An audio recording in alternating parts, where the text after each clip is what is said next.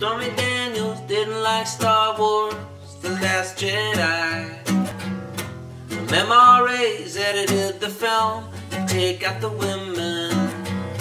Sleeping with another woman when your wife has a four-month-old at home is not what Luke would have done. I think it's against the Jedi code. In The Last Jedi, Luke burns down religious dogma. Stormy Daniels would appreciate this kind of rebellion.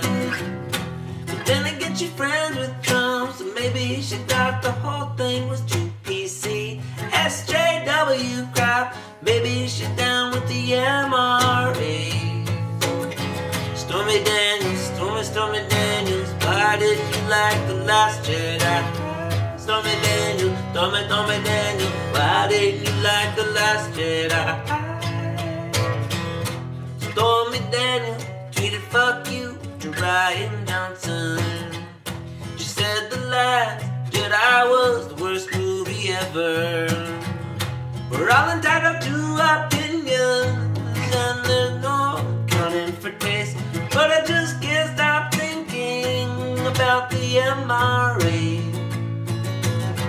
Stormy Daniels considered running for senator in 2010. Donald Trump was gonna donate to her campaign.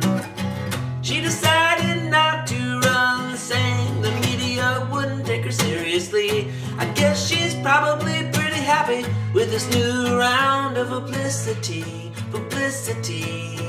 Oh, Daniels, Stormy, Stormy Daniels, why didn't you like the last Jedi? the last Jedi. Stormy Daniels. Stormy, Stormy Daniels. why didn't you like the last Jedi? Stormy Daniels. Stormy, Stormy Daniels, why didn't you like the last Jedi?